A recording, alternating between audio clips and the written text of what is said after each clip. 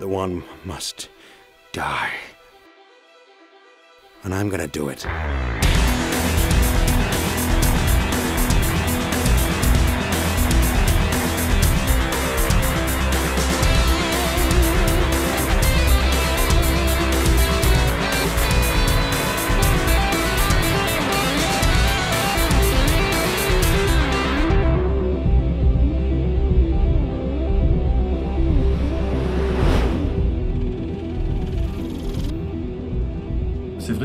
Regardes les making-of des autres films amateurs, tu te rends compte que, ouais, comme nous, les gens galèrent pas mal.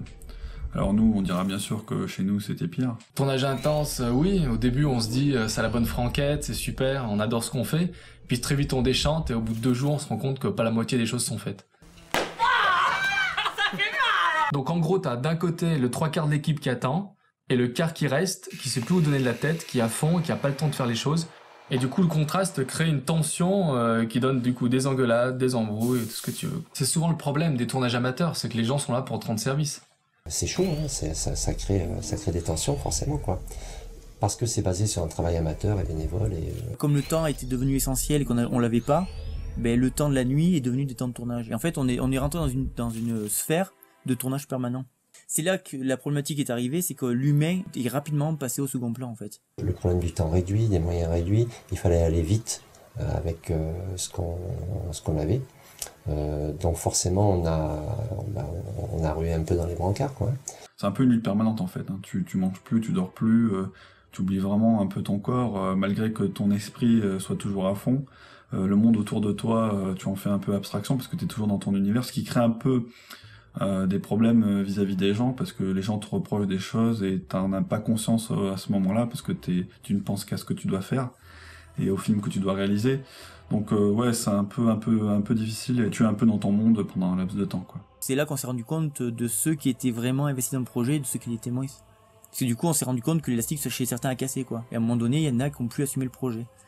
Peut-être qu'ils manquaient de passion, ou peut-être qu'ils n'avaient pas les ambitions d'un projet euh, de cette envergure par rapport aux moyens qu'on avait. Comme on ne proposait aucun revenu, c'était hum, très rare et difficile de trouver des gens qui, qui acceptaient de donner un peu de leur temps. On a besoin de ces gens-là, ils le savent. Et du coup, euh, c'est difficile parce qu'on doit faire beaucoup de compromis. Au fur et à mesure que le film avançait, euh, les gens avaient tendance à nous donner plus de crédit euh, parce qu'on pouvait montrer ce que ça donnait, ce que le film donnait. Et euh, du coup, les gens acceptaient en fonction euh, de ce qu'ils pouvaient voir. Ils ont peut-être exigé d'amateurs des qualités professionnelles, que ça soit au niveau de, de, de leur jeu, euh, de leur patience, de leur euh, disponibilité. Il y a eu peut-être oui, un, un petit décalage par rapport à ça. Du coup, ça a créé des problèmes? Ça a dû créer des tensions. oui.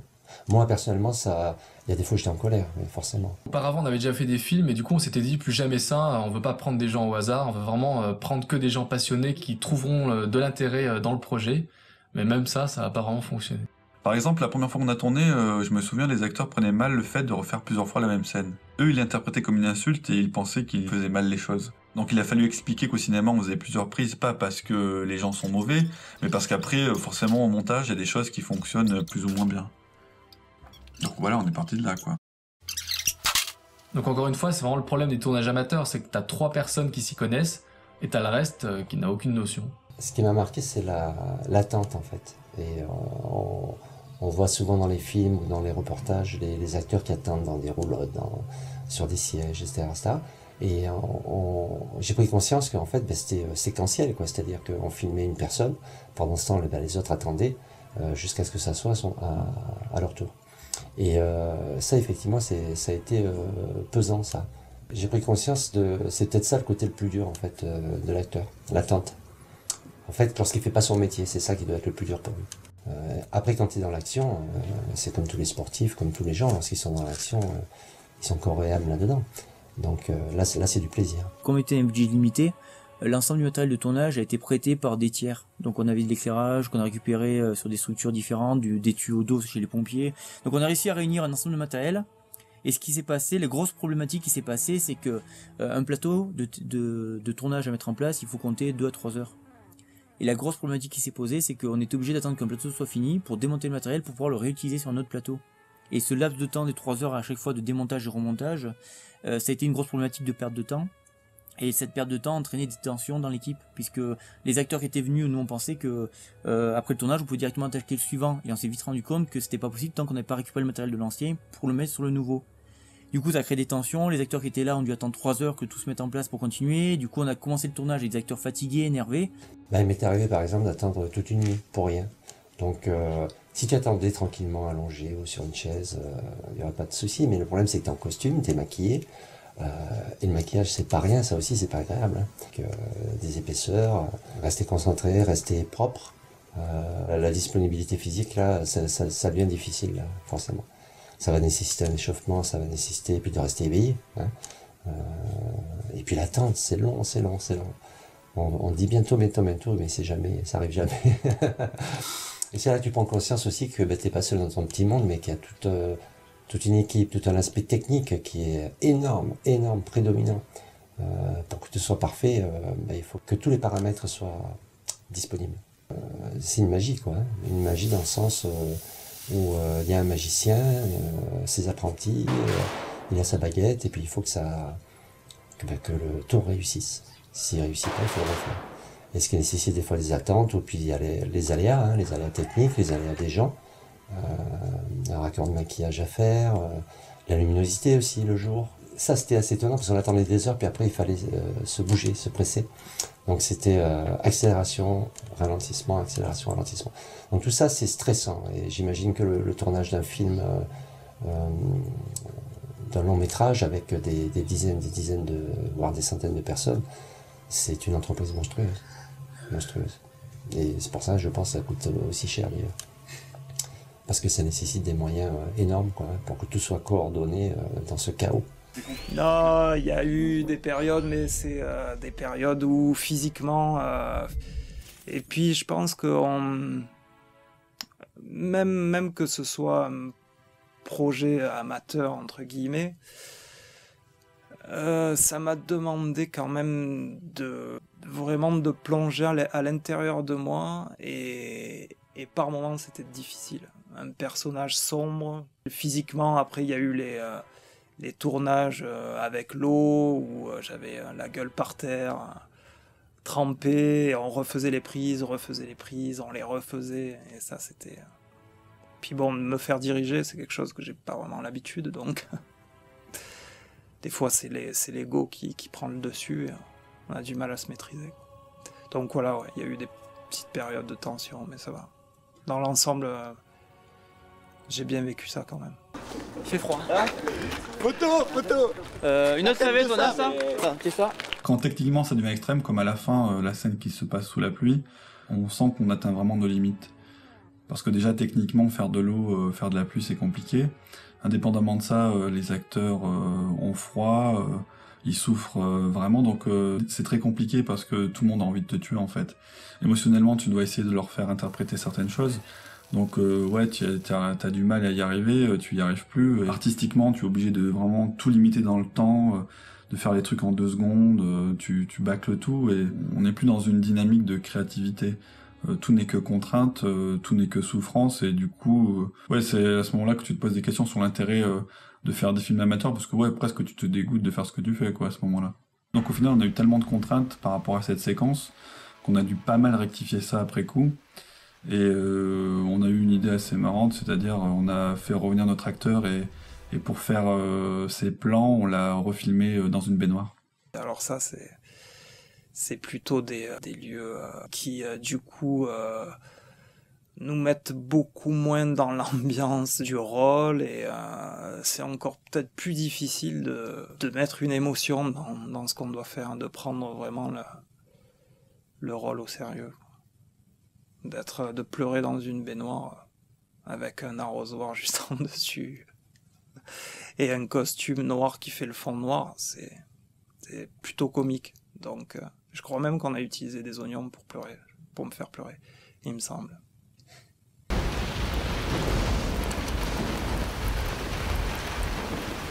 Des, des, fois, c'était tendu. ouais. Et euh, surtout, euh, bah, le, pire, ça a été, je crois, ça a été la pluie. Là, vraiment, où je t'aurais ouvert la gorge. J'étais pas là pour ça. Non, ouais. Et euh, non, c'était vraiment là à l'appui. Là, je pense que je pense que je vous haïssais complètement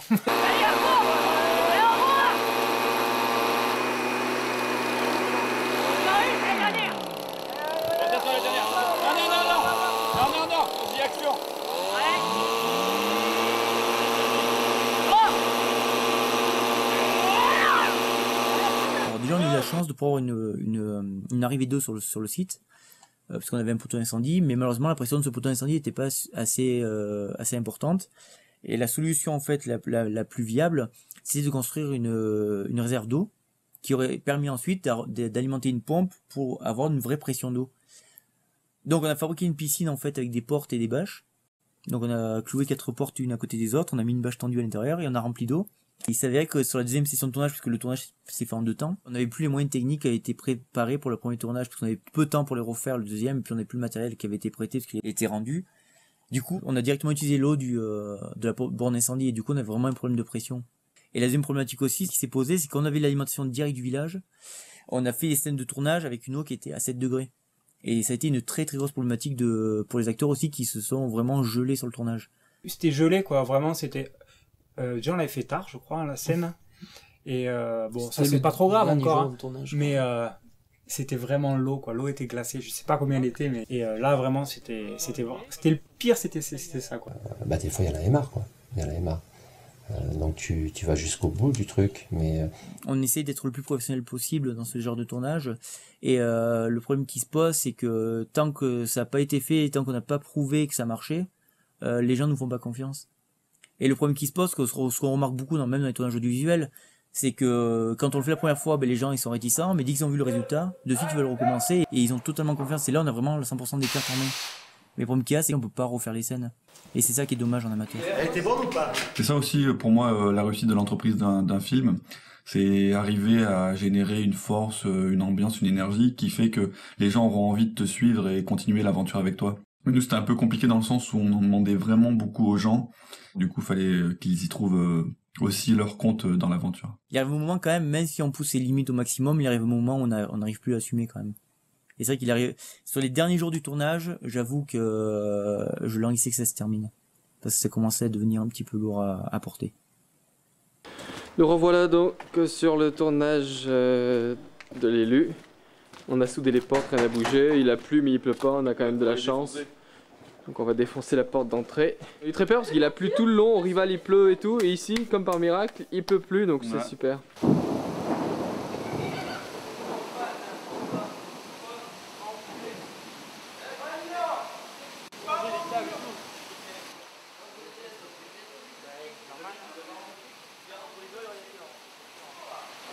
Ouais, on va prendre vachement de retard et.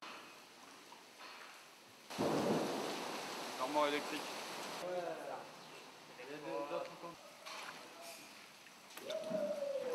Pour resituer dans le contexte, euh, on a tourné le film pendant l'été 2003, lors de la fameuse canicule. Pour autant, en ce qui nous concerne, on n'a pas vraiment subi la chaleur dans le sens où on travaillait souvent dans des sous-sols où il faisait euh, assez frais. Indépendamment de ça, c'était une période où il ne tombait pas une seule goutte d'eau. Et bien sûr, euh, quand on a fait notre tournage, eh la, pluie est, arrivée. Donc c'est sûr que pour une production normale, ça aurait pas forcément été un problème. Mais pour nous qui tournions dans des ruines, ça a été une véritable petite catastrophe. L'eau s'infiltrait partout et a littéralement inondé nos décors et menacé notre matériel.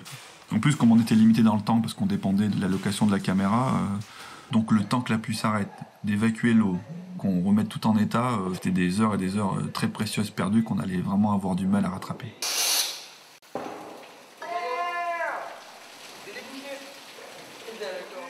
Euh,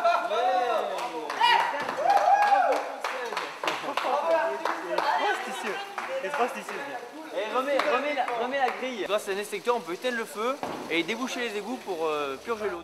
Donc oui, ça a été une vraie difficulté sur ce film, et montre encore plus la fragilité euh, d'une telle entreprise quand c'est fait dans des conditions amateurs. C'est vrai que simple inverse à notre échelle, euh, c'est représenté du coup comme un- une véritable tempête.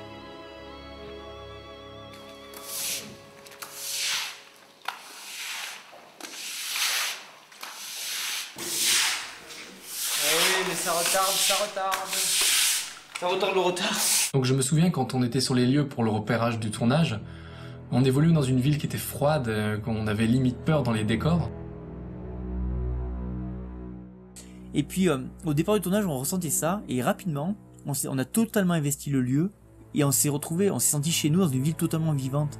On a tourné donc dans une ville euh, qui était désaffectée, euh, sans, sans, vie. Et au final, on a vraiment eu l'impression de créer un courant de, de, quelque chose. Les gens commençaient à travailler. Il y avait de l'éclairage de partout, de la vie, il y a des gens qui marchaient, qui couraient, qui tiraient des tuyaux. Qui tiraient des câbles, d'autres qui soudaient, qui coupaient. On ressentait qu'on allait dans la même direction, dans la même synergie. Et les gens se révélaient. Qu'ils se révèlent euh, ou dans le positif ou le négatif, en tout cas ils se révélaient. Donc quelque part, il y avait une sorte de, de réalité dans tout ça. C'est vrai qu'on a eu l'impression un peu de redonner de la vie à ce lieu, et moi je me souviens, quand on est retourné dans une vraie ville, dans la réalité et la civilisation entre guillemets, moi j'ai ressenti une sorte de décalage. Tout nous semblait plus morne, plus éteint par rapport à nous, ce qu'on avait ressenti et vécu euh, quelques jours auparavant. Donc euh, ouais, il y avait une sorte de décalage vraiment. Euh, et là je me suis dit, pour le coup... euh, On y a tellement passé de temps et d'énergie là-bas que j'ai l'impression que quelque part, qu'il y a quelque chose de nous qui est resté là-bas. Réaliser un projet comme celui-ci, finalement, c'est super intéressant pour apprendre à se connaître, pour apprendre à connaître les gens, pour vivre les, des émotions, même si elles sont positives ou négatives. En tout cas, tu vis des émotions et ça, c'est ça c'est super bien, quoi. Magnifique leçon d'humanité. Perchés dans les Hautes-Alpes, Raphaël et Savitri n'ont pas encore 30 ans et plutôt que de profiter du planté du bâton, ils ont décidé d'apprendre les effets spéciaux. Leur œuvre monumentale s'appelle Kedara, un moyen métrage de 50 minutes tiré de la saga des frères Wachowski. Les deux fils de la montagne investissent une maison perdue au milieu des fermes pour créer le premier studio de cinéma en altitude. Financièrement, comment on s'est débrouillé pendant toutes ces années bah, Déjà, on fait rien. C'est un peu une régression sociale, on va dire. Euh, on mange beaucoup de pâtes. Euh, et en plus, on a eu la chance euh, qu'on nous prête un lieu de vie euh, par rapport à nos familles. Malheureusement, c'était un peu un coin reculé dans la montagne, ce qui a fait que ça a encore plus accentué euh, notre côté ermite, loin de toute réalité. Euh, c'est sûr que ça a contribué à la difficulté de faire le film, d'être resté cloîtré dans la montagne. Donc voilà, c'était un lieu de vacances pour les gens, donc toute l'année, bon voilà, il y avait personne, quoi. On voyait que des chèvres, quoi. Des moutons. Moutons. Donc voilà, mais on y trouvait quand même notre compte parce que c'était quand même cool de pouvoir euh, se consacrer totalement à son truc. Ça, c'est sûr. Finalement, on a vécu un peu notre bohème à nous en faisant notre film, perdu dans la montagne. Bah, moi, je sais que c'était pas une dépression, mais bon.